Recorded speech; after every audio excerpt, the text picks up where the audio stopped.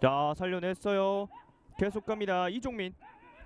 자 어렵게 뒤쪽으로 빼줬고 자 마지막 추가 시간 활용하고 있는 평택입니다. 네. 그대로 슈팅. 자, 이거 아, 세컨볼!